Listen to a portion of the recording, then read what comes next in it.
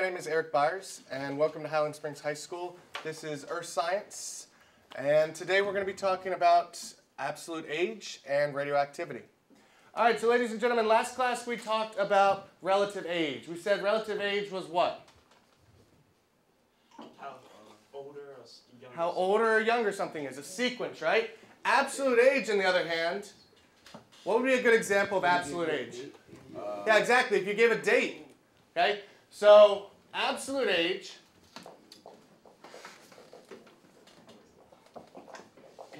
is telling you exactly how something old, old something is.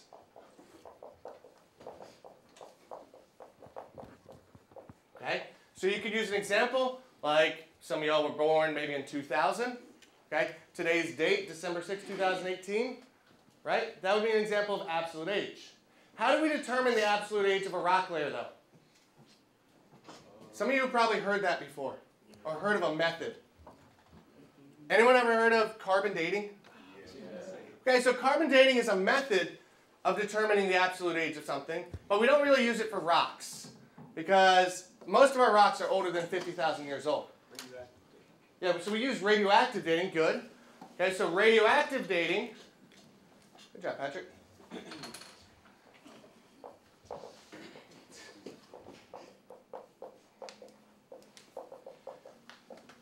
Is how we're going to determine the absolute age of a rock layer. So how do we get the rock layer is 300 million years old? So when we do this, we're looking at isotopes. Who remembers what an isotope is? Mia, you got it?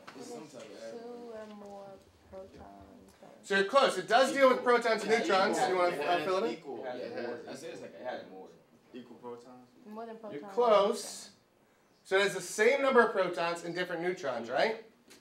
So an atom with the same number of protons, different neutrons, is called an isotope. Okay? And by looking at the number of isotopes of, say, uranium and lead, we can actually figure out how old something is. So what we're going to do today is we're going to uh, show radioactivity with Skittles. Okay? So you're going to receive a little teacup that has a whole bunch of Skittles in. When you get them, go ahead and count out however many you got. Okay? Because that's step one.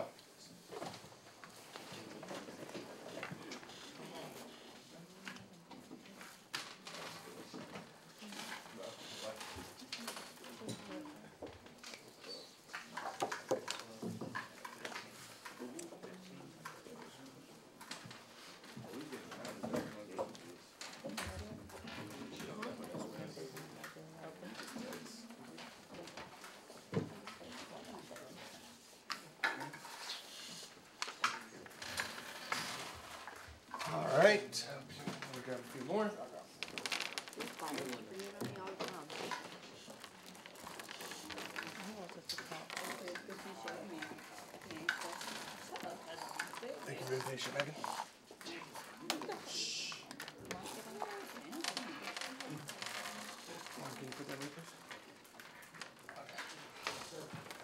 All right, so go ahead and start out by counting off our total number of atoms. So our total number of Skittles. Okay, you got many you got? 48.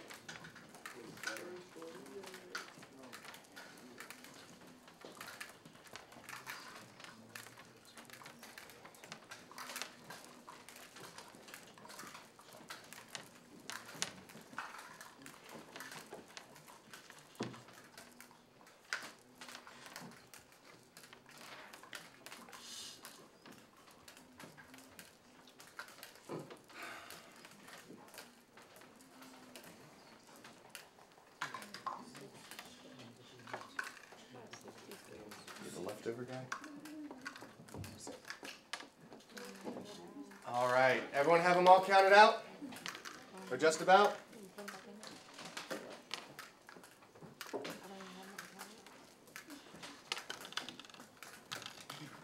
Groovy. All right, so ladies and gentlemen, as you probably noticed before with Skittles, they have two sides, right? What's it say on one side? An S. Okay? So from now on, we're going to call the side with the S Skittleium. Skittleium. Okay? Skittleium is our radioactive or parent isotope. Okay? Skittleium is unstable. It doesn't want to be skittleium anymore. it wants to be blankium. Okay, which would be the side that does not have the S. Okay, so what we're going to see is we're going to see how does it radioactively decay. So what I want you to do, you'll notice that you have a data table. Right? Under zero half-lives, because we haven't even started the experiment yet. I want you to put the total number of Skittles that you got under the Skittleium atoms remaining. So for example, if I had 27 Skittleium atoms, I'd put 27 in that box. Does everyone know where to put it?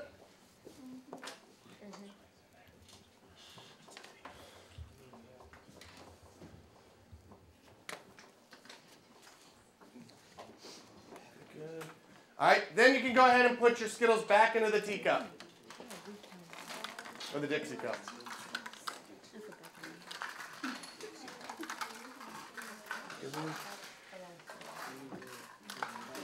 Mm-hmm. Did you count them all up? Okay, make sure you record it right here. Perfect. Oh my god. Forgot what I was. One, two, three, four. Did you lose track?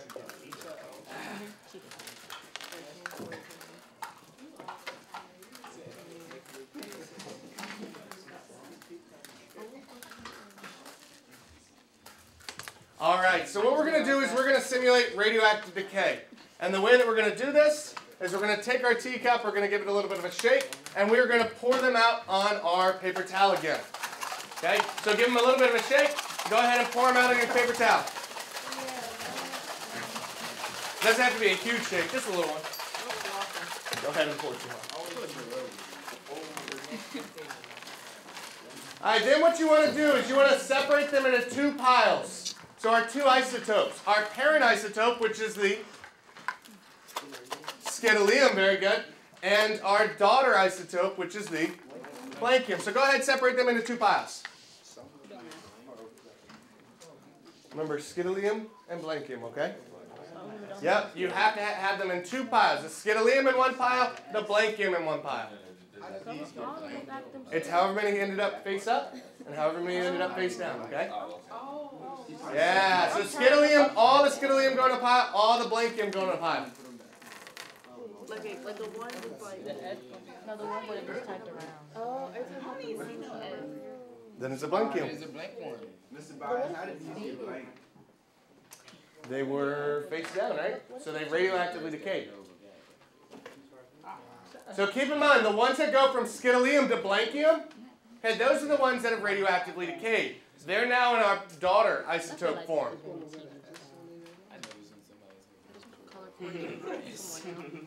Super blanket.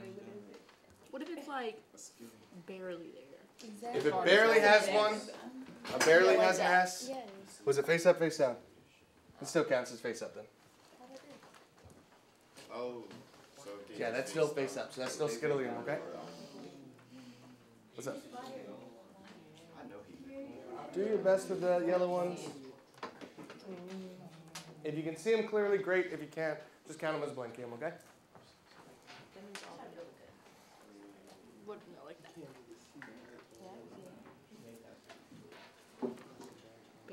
Barely. Where Get them all that. Excellent.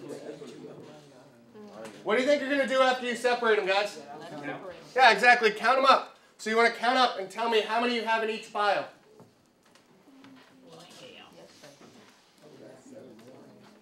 These are my neighbors. I don't know if I trust theirs. We never went recycling. You always run exactly. recycling. What is that? You don't even be doing nothing for real. Oh no, now you can.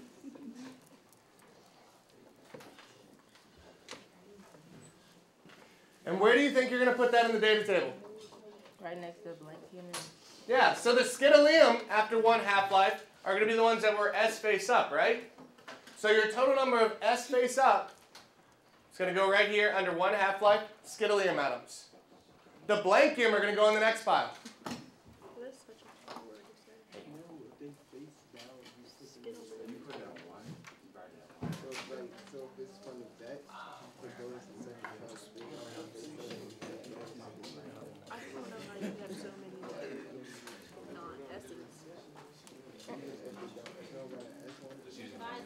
Just using a calculator. Would you count this? Oh, that's true. I guess a calculator might make your life a little easier, right? Calculator. Oh, well, let's take care of that.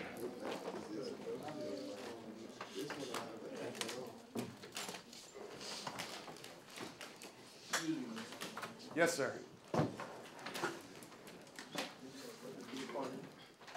So uh, there's a parent of the daughter. Are they the parent of the daughter, the, the Skittilium or the Blankium? Okay. So under the first half-life, Skittilium atoms remaining. I think you gotta do how many S's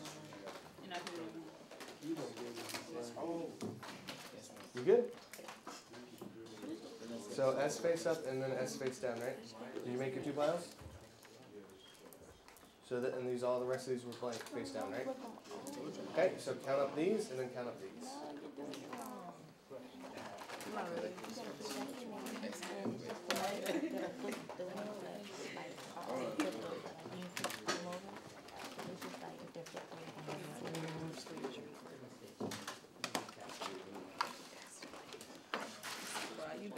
All right, is everyone wrapping up the first half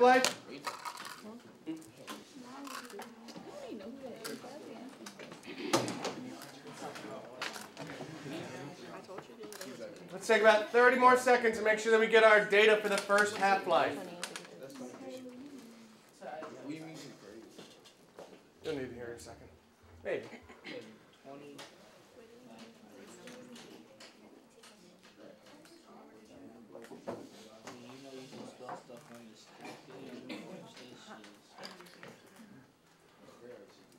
All right, so after you've counted them, this is very important, ladies and gentlemen. Okay? Can all of our isotopes still radioactively decay? Yeah, they can? You sure? No, what are the only ones that can still radioactively decay? The skittilium. Okay? So only the skittilium are going to go back into your cup. Okay, the blankium, leaving that pile right there. So go ahead, put the skittilium back in your cup.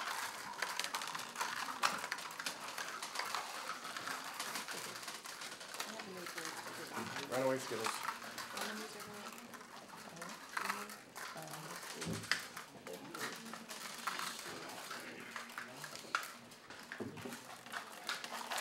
All right, so now we're going to go ahead and do our second half-life. So go ahead, once again, take those Skittles, okay?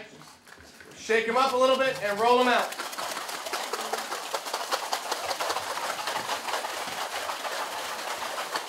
And roll. All right, once again, you're going to separate them into two piles. A skittilium pile and a blankium. But you can add your blankium from this half-life to your other blankium pile. Does that make sense? So once again, there's only going to be two piles on your paper. A skittilium and then a bigger blankium. All right, then ladies and gentlemen, just like before, you're going to count your number of skittilium and your total number of blankium. So that includes both the first round and the second round. Okay? So uh, make sure that you include the ones in the previous round. Nope, nope, nope. That one was right. That one's the one we gotta look at, okay? So count up your total number of blankium, the one from this round and the one from last round. That's why we added to our pile, right? So your total should be higher for the blankium and lower for the skittilium. What happens if one Mm, so you had 20, and then 14 of them were skittilium, right? Okay. So that means that six of them work. So you have that six plus 29. Even though I'm right now. All right. For example, ladies and gentlemen, after my second round, okay, after the first time I had 13, right? Now maybe I have six. Okay. I need the total number of blankium, not just how many there were that round. Okay? So I would do however many I had that round plus the previous round. So I had seven more. That's going to give me 21. Does that make sense? Yeah. No? Jayla, you're not? Okay. So make sure you put your total number of blankium. So remember, ladies and gentlemen, only the skittilium are going to go back into the cup. Only the skittilium. So only the S face up. So how many would I be putting back in my cup? Just the six that were face up. Okay? All right, go ahead. You can continue on with your half-life. Do it until you get down to one or less skittalium.